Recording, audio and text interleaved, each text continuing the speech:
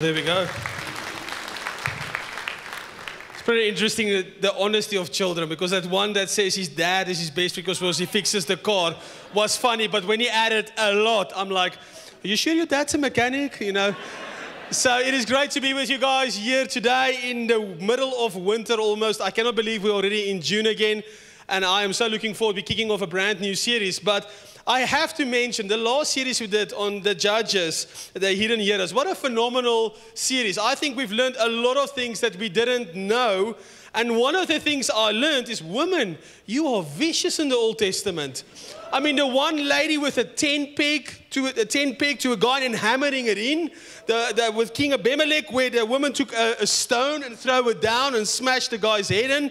Delilah, I'm like, wow, I'm so glad we're living in the New Testament times and not in the Old Testament times. And I know it's Father's Day next week, so we, I know we're going to see your kinder side. We are starting a brand new series called Circles. And I don't know if you've noticed as you come into this door, you will see there was a big circle logo with a bunch of people under it. And this three weeks, we want to speak a little bit about friendship.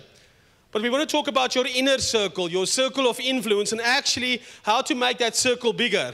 And that song keeps coming up in my mind. I don't know if you've ever heard it, it's a horrible song.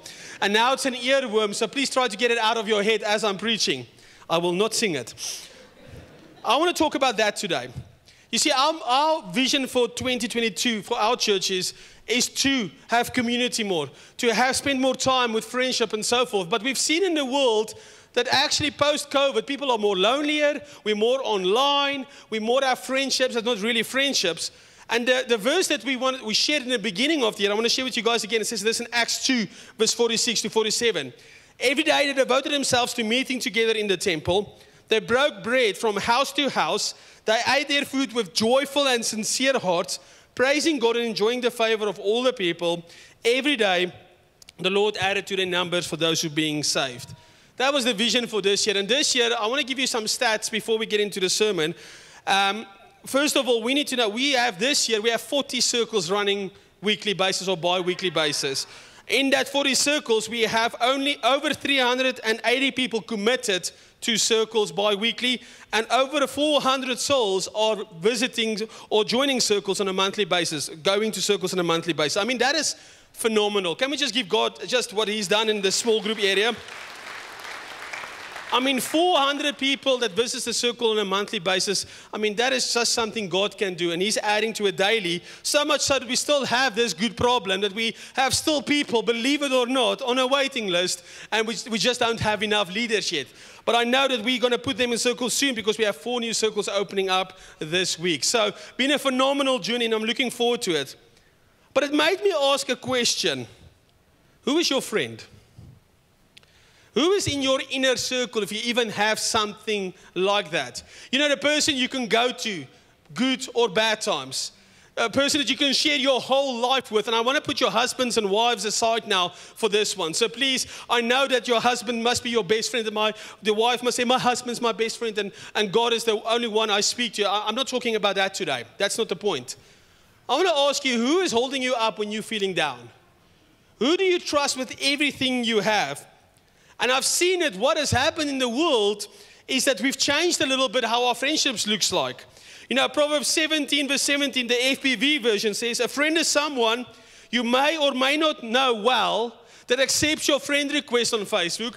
This person is born to like and comment on your post to make you feel good about yourself. Now, some of your Bible scholars here are like, what is this Bible that Louis is talking about? If you want to get it, it's called the Facebook version of Proverbs 17, verse 17. I'm going to share the real one now, but this is what our world has become. Our world has become Facebook and social media driven TikTok, Instagram, Snapchat, WeChat, Telegram, WhatsApp. And we don't have that physical communication anymore. Now, when I prayed for the sermon, I went to Mugg and Bean and I thought, let me just see what people do at Mugg and Bean while I was prepping for the sermon.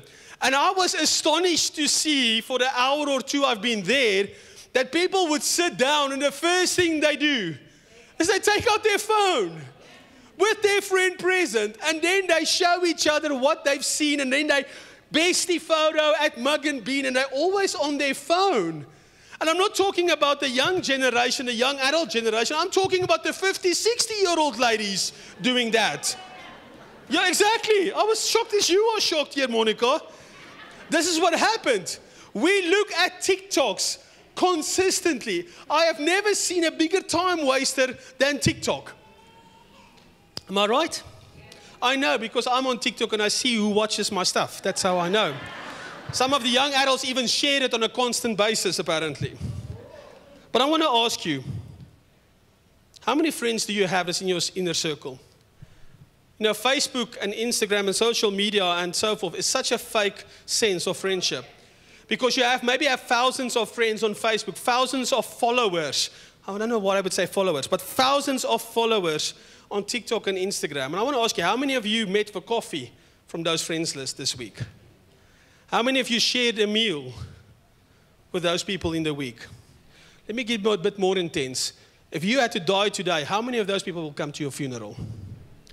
Or would they just say condolences to the family?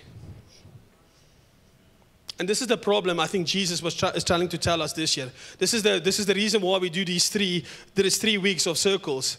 Is who do you have time with friends? Do you have time for friendships?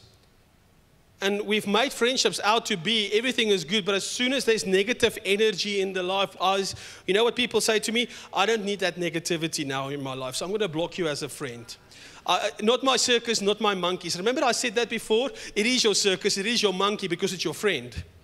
But we block people out and the reason I believe anxiety and depression is so rife in this world is because Christians have modeled the same friendship levels as the world does. So Christians would say, I am there for you, but as soon as something happens that influences my lifestyle, I block you out. I can't deal with this right now. I did a social experiment. Sorry, I, I get very excited when this happens. So, sorry, online guys, if you get a little bit woohoo.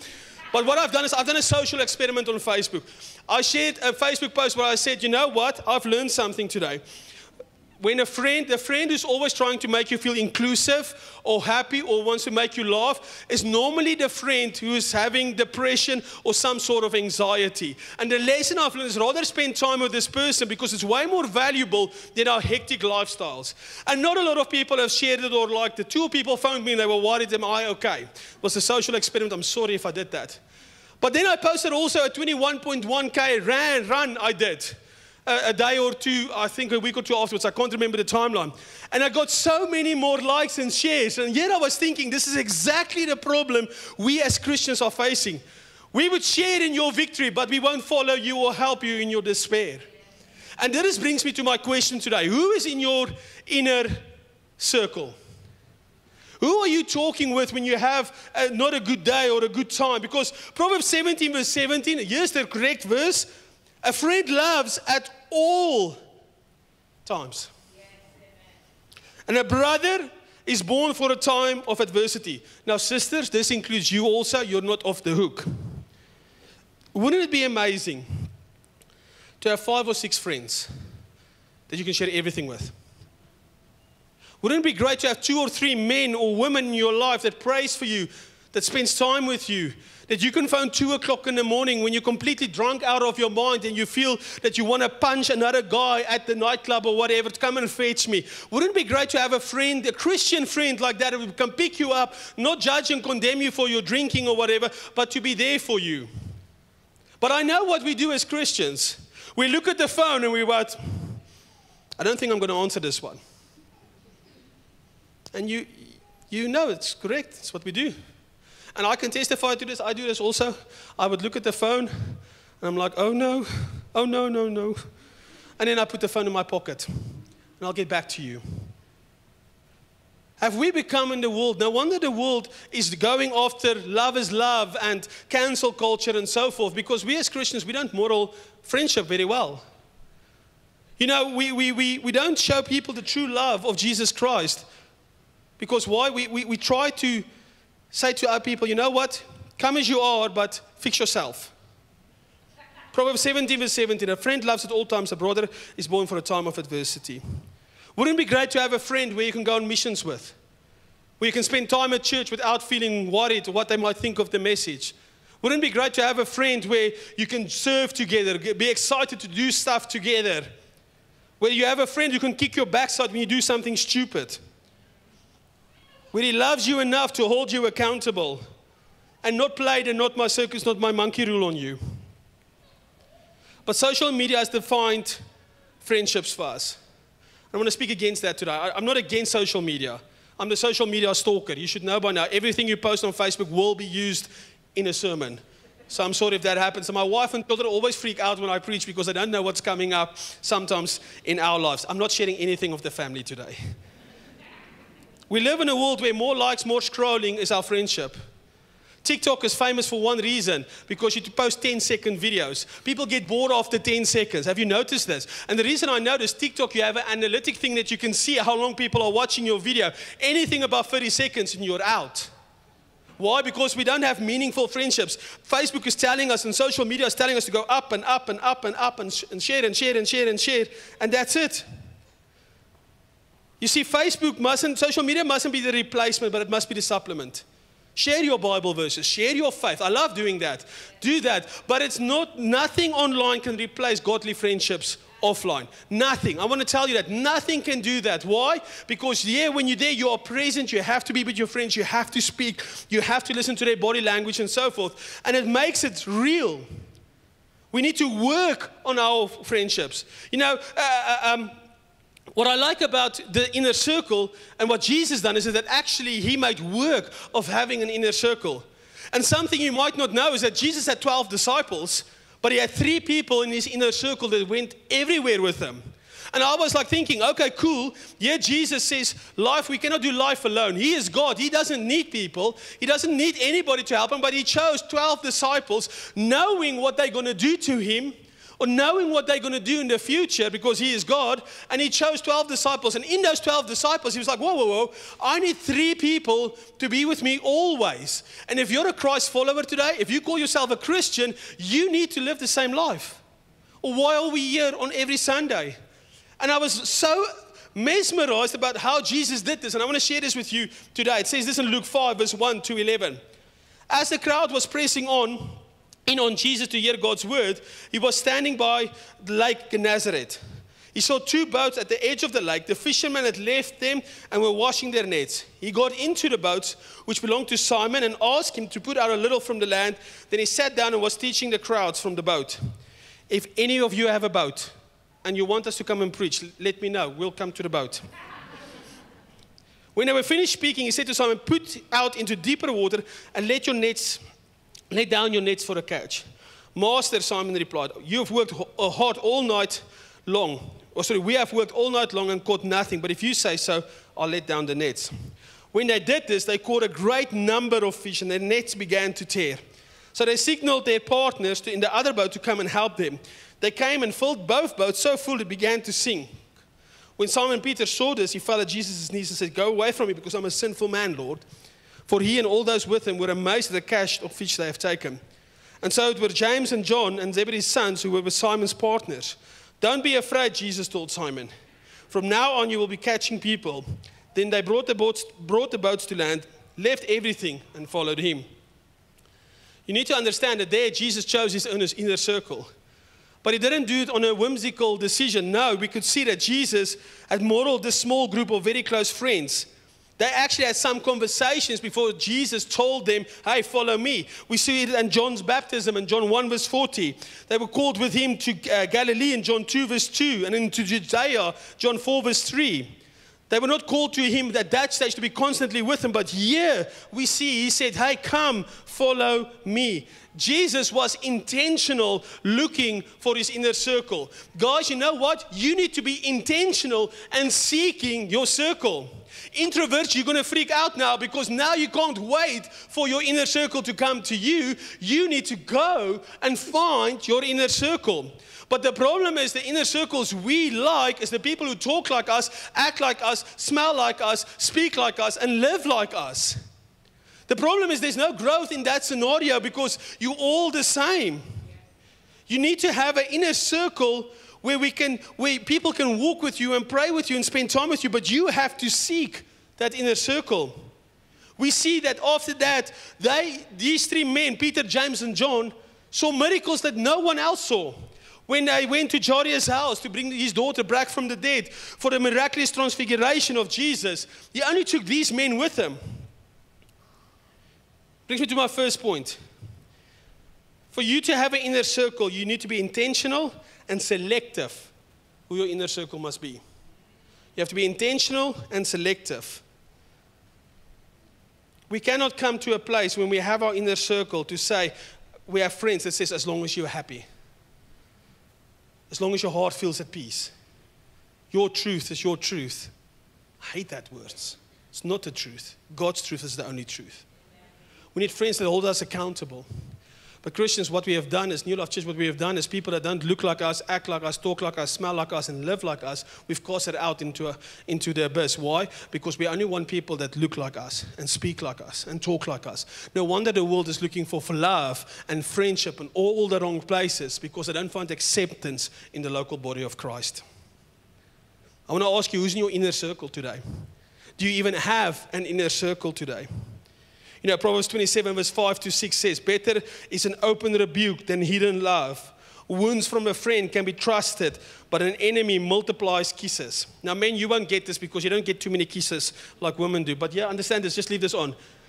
It is greater to have a friend that calls you out on your gemors for the English people, for your stuff that you're doing wrong, than a friend, uh, than an enemy who multiplies your kisses. When you are in a bad place, do your friend take you more negative or do they try to lift you up?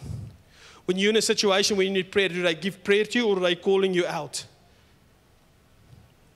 We need to understand that we need to have genuine friendships and that we can do correction on that. And also, friendships are meant to manifest love and devotion. It also means you cannot do love alone. Proverbs 27, verse 9. Oil and incense brings joy to the heart, and the sweetness of a friend is better than self counsel. It means get help. Men, if I can say something to you today, we are too proud and too happy. Uh, I just almost even said we don't do the BFF. I love that you said that. We don't do the best friends forever. Why? Because we're men. And then when I speak to men, I say, How are you doing? I am fine. And I'm thinking you're lying because the Holy Spirit is telling me you are not fine. Or when I ask men, How's your day been going? No, it's been going, going great. we not, we, we try to own something that we're not supposed to own. And then when it says here in the Bible, hey, a sweetness of a friend is better than self counsel, the Bible Bible is telling you to say, get help. Get men into your circle that can pray with you and lift you up. Ladies, you're great at creating circles. There are so many lady circles, I've lost count how many people we have in lady circles. But men, we need to come to the game. You know, I posted something on Facebook. Men, it's time for you to stand up, sit in the front of the church, raise your hands, and become the prophet of your house like God has called you to be. But for you to do that, you need to understand you need help. Because if you're broken, your family is going to be broken. I love men's ministry. I love circle ministry because I see the healing that happens when the power of the Holy Spirit is there. But it means also when you have a circle or an inner circle, they mustn't become a gossip group circle.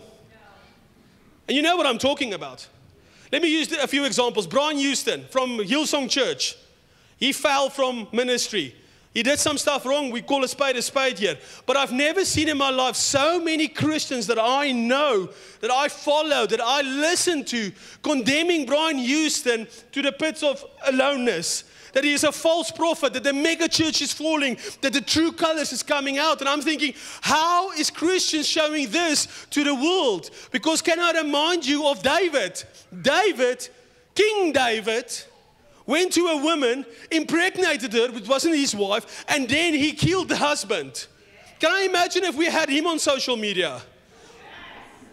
What would you do? What would you do? Peter, Peter basically denied Jesus three times. He was caught out in a lie three times. Would we allow him here? Would we be his inner circle friends? I shared a picture on Facebook the other week, and I want to share this with you guys. And I think this is what the social media world is doing. If social media was in Jesus' times, local carpenter with extremist views continues to spread disinformation deemed harmful by religious experts.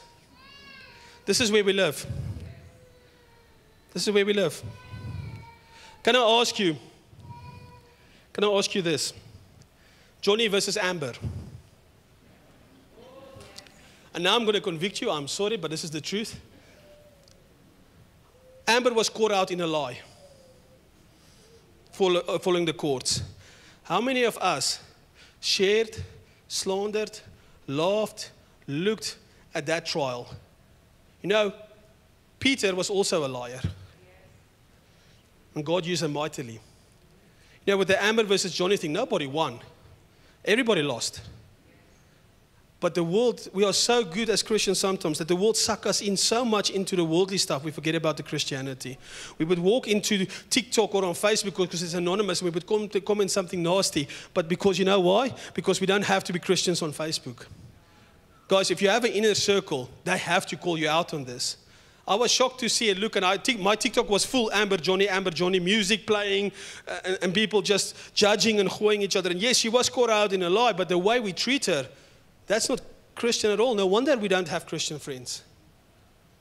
When I ask you are you a gossip group? Or are you helping other people to come out? Brings, brings me to my second point. Friends must be constant with each other at all times. You cannot change your attitude towards your friend or your inner circle on a whim or thing. You know, we block people easily. We unfriend them on Facebook. Some of us are even smarter. We don't unfriend them, we unfollow them because we still want to see what they're doing. And then when they get life right, we don't celebrate with them. We wish actually it gotten a little bit worse. I want to ask you in your inner circle here today are you constant in love and guidance? Now, I'm a visual learner. I don't do books so well. I try to read books, it's a big thing for me. I watch the movie. So I'm going to give you a visual example of how a circle must be consistent, but I need three men on the stage. I'm not sexist, well, I'm not asking for women, you'll see why. But can I have three men? Just some of you work here, you have to come up, unfortunately. Can I get two other men, please? There we go, Barry, thank you. One other man. Come, Donald. There we go. Men is so shy. I don't know. If I said three women, it would be funny here. I am I right? Just stand for me in the front. Come closer to the light. There we go. Just stand there. To the edge, please. To the edge. There we go. Now, when we're in our inner circle of three friends, I have seen when life is easy, it's easy to be an inner circle. When we see the fruit of the Spirit, we see giftings show up, we see each other pray for each other, we see Barry tell someone, listen, brother, the Holy Spirit told me about this, and you're like, oh, it's great, you know exactly what I'm doing. But, and it goes well, so well, that your circle is just holding hands and singing kumbaya. Not asking you to hold hands. But what happens when a brother falls? That's why I didn't want ladies. We do this. Smile, Chisomo. We take a photo and we share it with our group. You see, what happens in our circles when it's not consistent is these two men are doing what now to Chisomo? They're looking down. What is Chisomo trying to do? He's looking up. But what happens, excuse me, in our godly circles, instead of taking photos and sharing, and I told you so, unfollowing him, it's their men's job to push him back up to where he's supposed to be. Do you understand that? You can stay a little while. Ecclesiastes 4, verse 12. And if someone overpowers one person, two can resist him. A cord of three strands is not easily broken. It means when we push, um, when a man gets fallen into sin or fallen into a situation, we have to be quick to help him out. A three quarter strand is not easily broken. Friendships, your friendships will last if it's a godly inner circle because the Bible says so. I don't care what the world says, I don't care what psychologist says, I don't care what your friend says. If the Bible says it's true, then I believe it. And that's why we need inner circles in this church.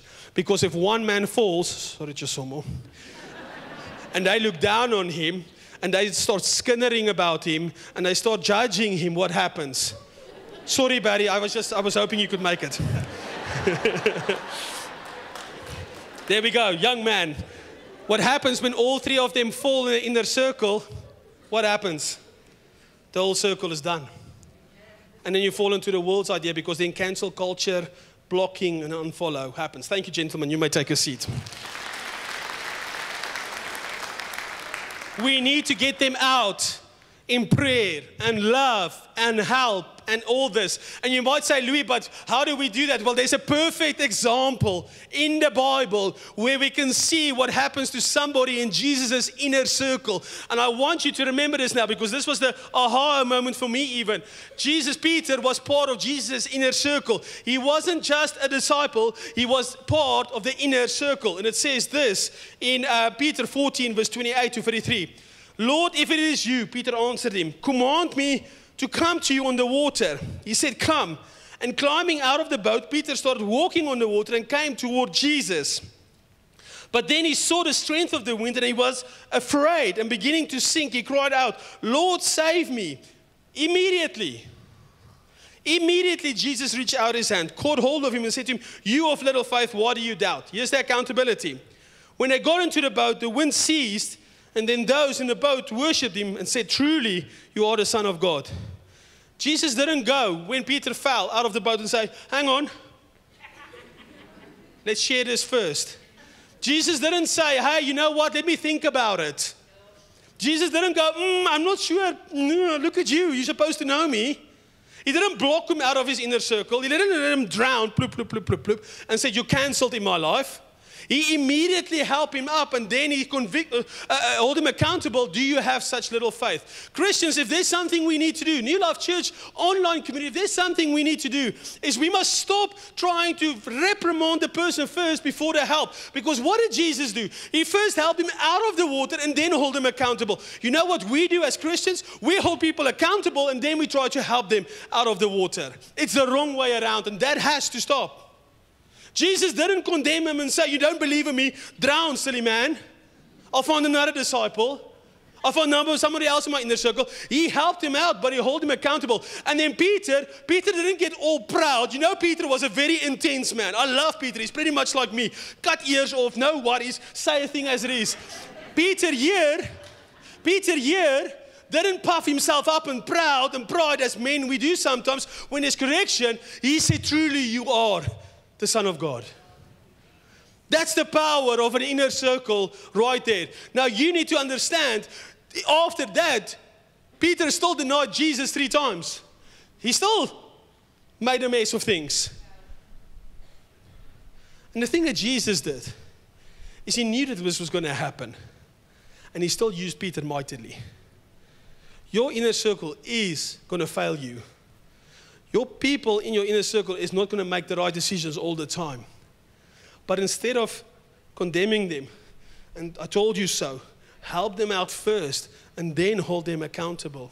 And then your, the people in your circle, Holy Spirit filled, will see hey, this correction is biblical. We live in a snowflake world where everybody can be offended over everything. Silly stuff. F1. If you're a Lewis Hamilton fan, the world hates you. You're a Max Verstappen fan, everybody loves you. Johnny versus Amber. Everybody loved Johnny. Everybody hated Amber. That's not Christianity. Jesus loves them the same. So in our inner circle, we need to love the people the same.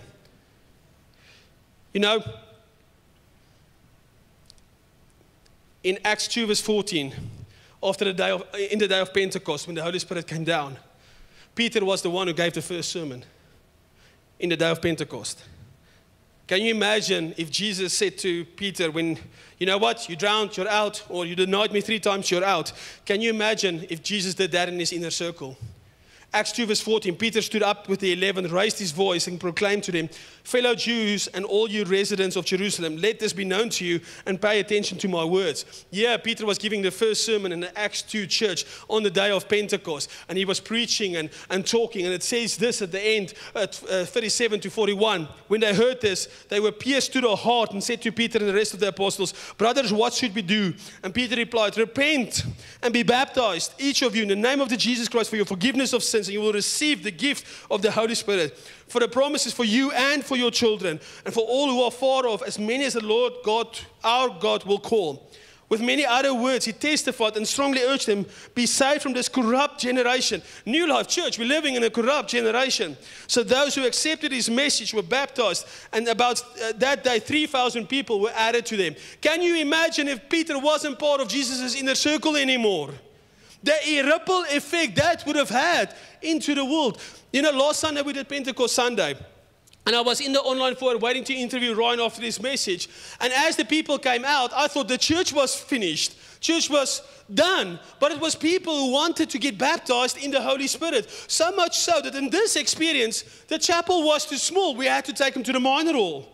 That is the power of the Holy Spirit. Like I have no, I won't say never, but I haven't seen such a move in Witbank for a long, long, long, long time. Why? Because Peter was obedient back in the day of Pentecost, and also Jesus still used him.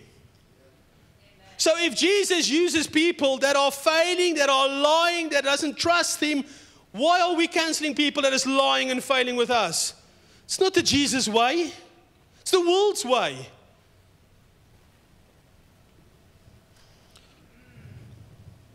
We're not supposed to live life alone. We cannot do it alone.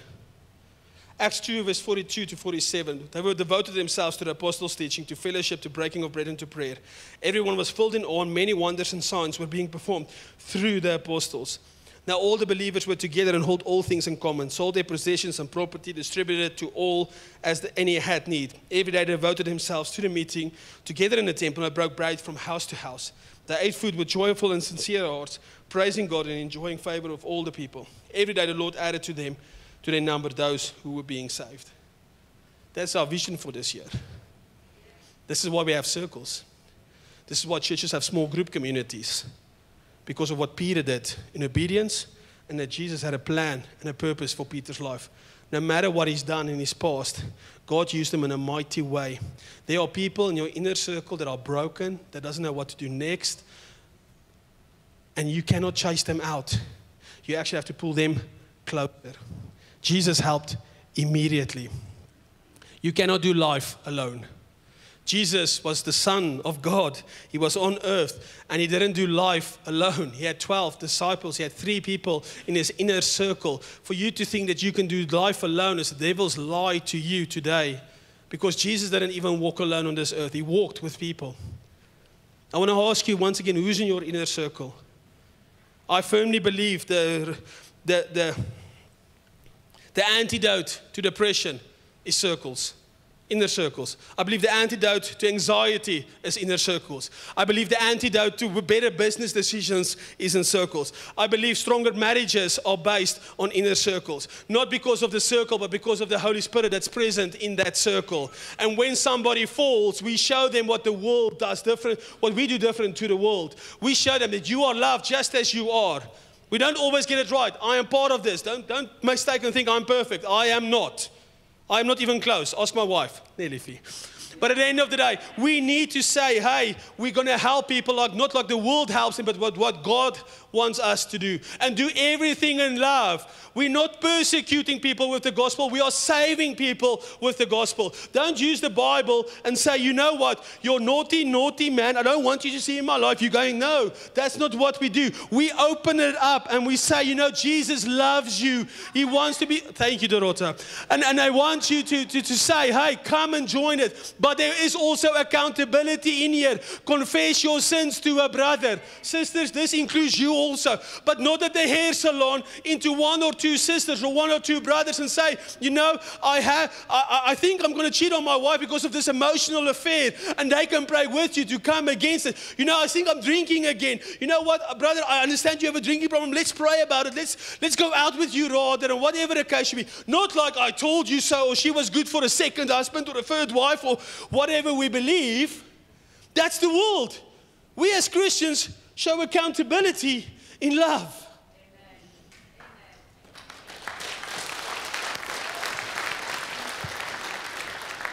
I've lost my place. In closing, do you have an inner circle?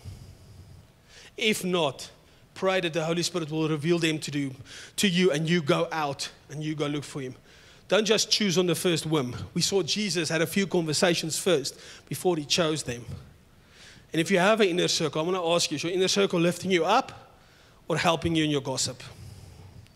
Because if they're helping you in your gossip, I want to kindly say today with love and care, Call that person out.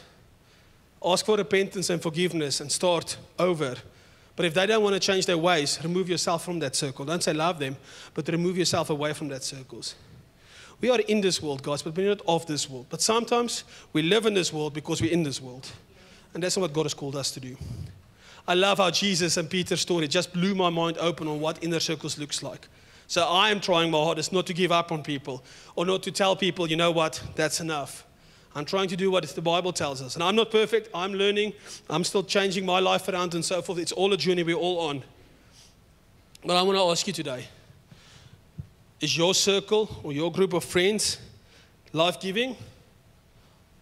Or are they just using you for the good times? If they are life giving, carry on. If you don't have a circle, let us know. We'll help you an inner circle, not a circle group, an inner circle, people that you can hold you accountable and walk a journey with you and so forth. You know where I've met all my inner circle people? At this church. When I was serving in the projection back in the day. Wow, that was many years ago. When I was a kids' life leader, believe it or not, I was a kids' life leader. I don't know how they allowed me to be a kids' life leader, but when I was serving at Elevate before, way before just almost time, when I was a, a, a, small group leader, when I was doing courses and so forth, I've met my friends in my inner circle here and I spend time and get to know them and so forth. Men, we need to come to a point where we can share with other men what's happening in our lives. I'm speaking to the men specifically now. You are too much holding on to stuff that's not supposed to be holding on to. And if you are broken, your family is going to be broken. Try stop being brave. Brave is a movie, it's not an attitude men should have at this moment. Come with humility before God, and He will give you the healing. Get people around you that can love you and hold you accountable. And then don't puff yourself up. Say, you know what? I think you are right, because that's how true growth happens. Lord, I thank you for each and every person here today. I thank you for the wisdom that you've given us in your word. I thank you that we can see that community is important to you, that inner circle is important to you. I thank you for the examples you've shown us in your word. Lord, I pray for wisdom today. I pray, Holy Spirit, that you will just move with us and tell us what we need to do for the next step to find our inner circle. Lord, I pray for the hard conversations. I pray for when people might be fearful and calling their friends out. I come with, in Jesus' name today and say that you will give them a, a peace that surpasses all understanding because we're bringing our prayers and petitions to you today.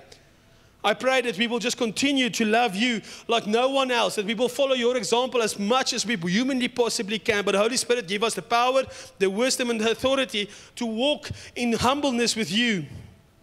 I thank you, Jesus, that you've shown us that even though you're the Son of the Father, Father God, that you didn't walk alone, that you had people around him. I thank you that you had people around you and you even knew that they were going to betray you or deny you, and you still called them friends and disciples. I pray that we will have the same attitude than what you have for people. Lord, I come against our mindset into this world where we just act and walk like the world. I pray that you will remove us from that. Holy Spirit, remind us when we do things like this. I pray that we will show love to people. I pray that we will remember as you saved Peter from the water immediately, you helped him out and then hold him accountable in love. I pray that that, that image of Peter walking on the water will never escape our mind. I thank you for your love. Thank you for your hope. And I thank you, you're the cure for everything in this world that is wrong. If we just choose to accept you and walk with you. And I pray this in Jesus' name. Amen.